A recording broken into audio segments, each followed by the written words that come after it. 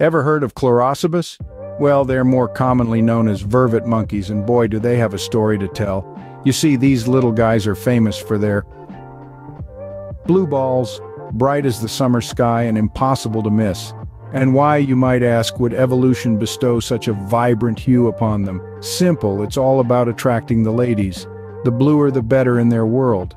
But that's not all. The top dog or monkey rather sports both blue and red, a vibrant contrast that's sure to brighten up your day, just like clear blue skies. So, next time you're feeling down, just remember somewhere out there is a monkey with blue balls, and he's proud of it. And that is a vervet monkey.